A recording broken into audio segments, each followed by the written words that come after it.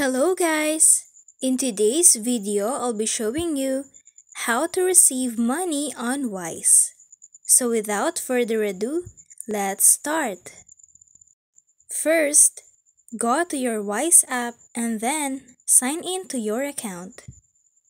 But before anything else, you want to make sure that the person must send first the money and able for you to receive the money.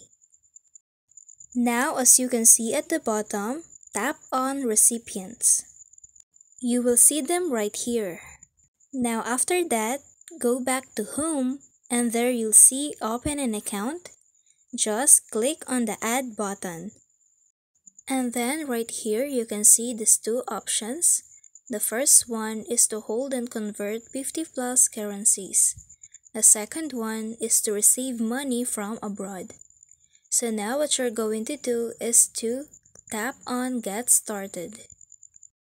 Next, search for the currency that you want to receive. And then, fill in your personal information. And then, verify your account.